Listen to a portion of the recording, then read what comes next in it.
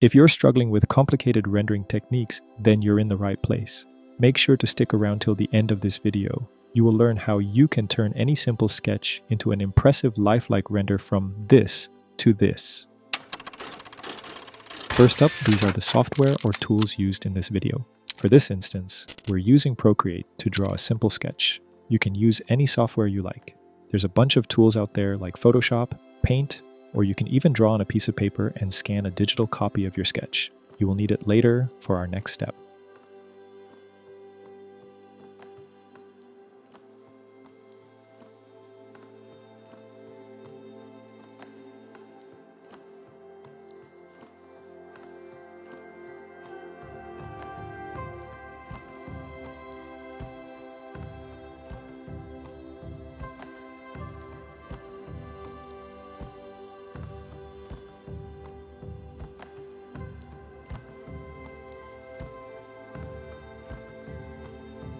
Next, we'll be using an AI tool called Midjourney. This AI tool has been around for a while now. With its current version 6, it's been nothing but impressive as it continuously produces realistic results. Now, you will need to sign up and install the Discord app to use it. If you want to know how to get Midjourney up and running, let me know in the comments below and I will create a separate video about it. I have been using Midjourney for about a month now. Having said that, I would recommend its basic plan, which is $10 per month. It's more than enough, at least in my opinion, to get the hang of using its prompts to create amazing images from scratch. Now let's open up the Discord app and go to our server. Upload our simple sketch like so and press enter. Right click on the image and select copy image link. Now type in the following prompts forward slash imagine space, paste the copied image link space, then use the following prompts below.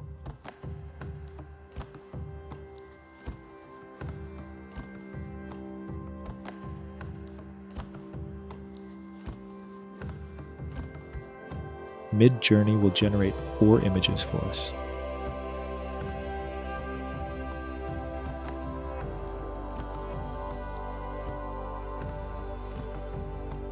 At the bottom, we are presented with options upscale, regenerate, and variant. The numbers next to the letters represent the numbers assigned to their corresponding images. Let's make a variant of our first image by pressing on the V1 option.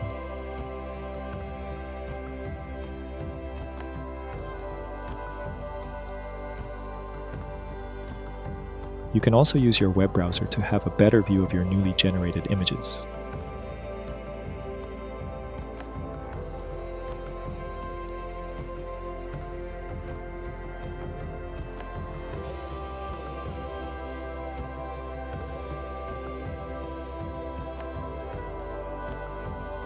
Let's pick this one and download it into our folder. We will repeat this process until the sketch lines disappear.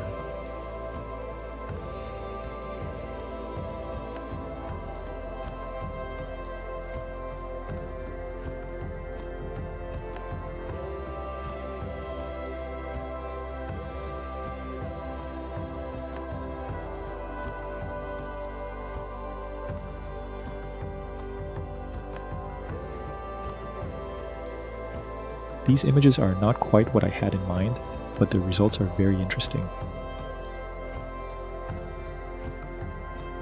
Let's try again and select the refresh button.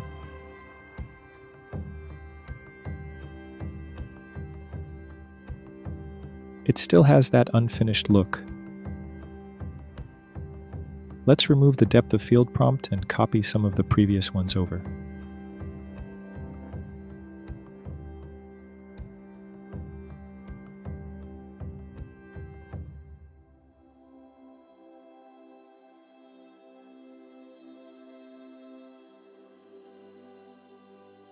Let's open these images again in our web browser to have a closer look.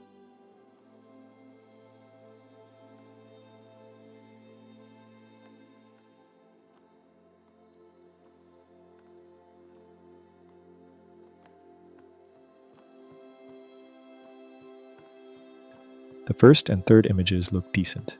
Let's make a variant of each by selecting V1 and V3 options.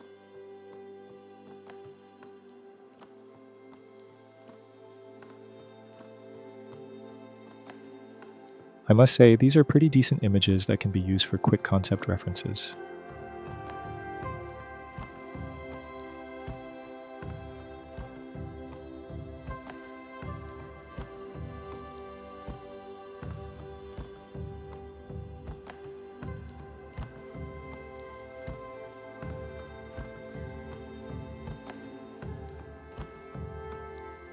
Once we have a clean generated image, let's do the same process. But this time, we will change some prompts. So let's upload our clean image and press enter.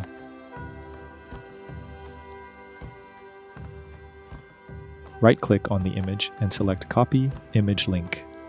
Type again the following forward slash imagine space paste the copied image link space then use the following prompts below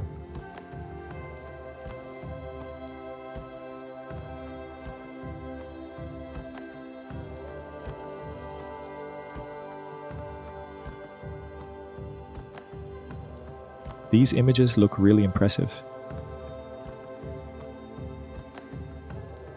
Go ahead and repeat the same steps, and try getting different results by changing some of the prompts.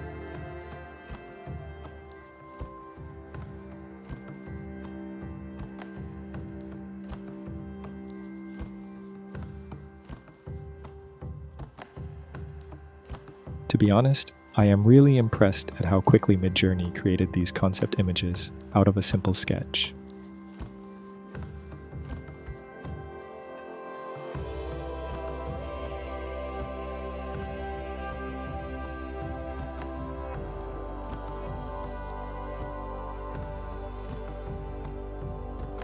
The results are not perfect, but it gets the job done. Obviously, this type of technology is just going to get better with time. Just out of curiosity, let's try an alternative approach. Let's use two of these reference images and upload them to our server.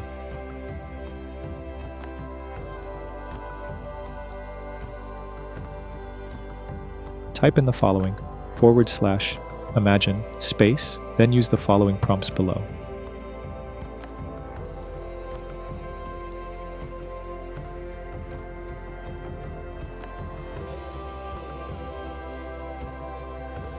I find that this type of method creates an even more realistic looking result.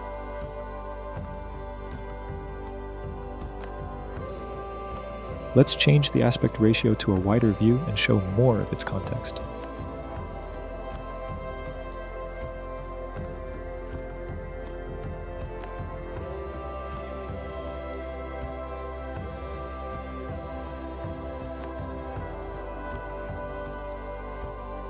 If you want to remove the people in the images, you can try this one.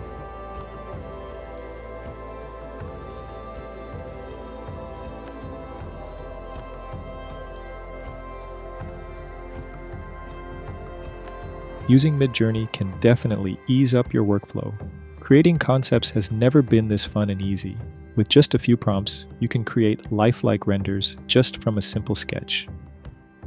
If you want to learn more about architectural visualizations, watch this next video right here.